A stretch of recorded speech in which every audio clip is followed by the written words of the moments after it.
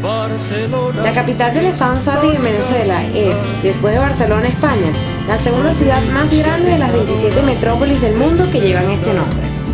Eres la puerta del oriente, refugio fuiste ser, la casa fuerte de héroes, heroínas. Pero su riqueza no se queda en el espacio, sino en la historia que se mantiene en el tiempo y da fe de una lucha que revive en sus calles, casonas y plazas.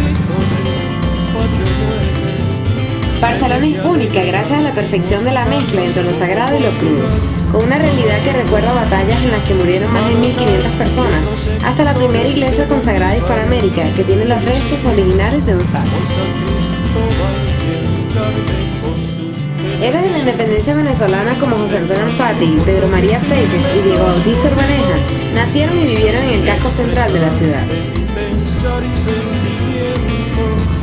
Otros como el general José Antonio Páez, Guzmán Blanco y Cipriano Castro, además de los presidentes Medina Angarita y López Contreras, deslizaron sus botas por los corredores y patios del que es ahora el Museo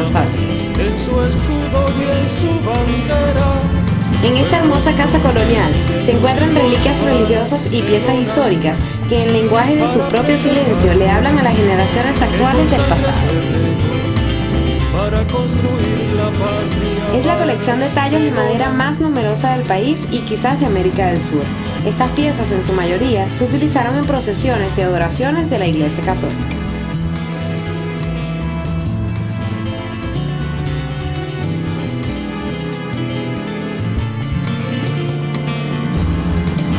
Otro de los atractivos del casco histórico de Barcelona es el Ateneo Miguel Otero Silva, una sencilla pero bella casa de cultura en la cual se exhibe una colección de obras de pintores venezolanos como Armando Reverón, Virgilio Trompis y Alberto Brand.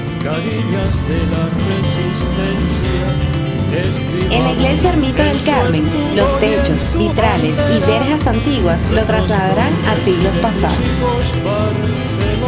La Casa Fuerte es uno de los símbolos independentistas más emblemáticos del Oriente.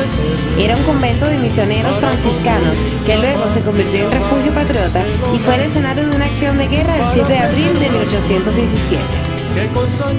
Las plazas Rolando, Boyacá, Bolívar y Miranda completan la atmósfera histórica de la urbe que es rodeada por el río Neverí.